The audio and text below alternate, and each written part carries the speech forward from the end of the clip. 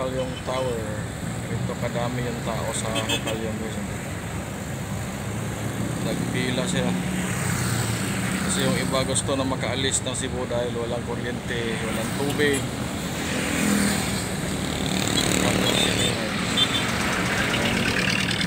Nagpila-pila yung mga tao dyan. Oh. Kanina pang umaga yan hanggang ngayon.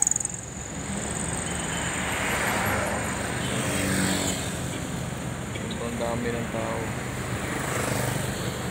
Hindi pa nagbubukas yung office nila. Dahil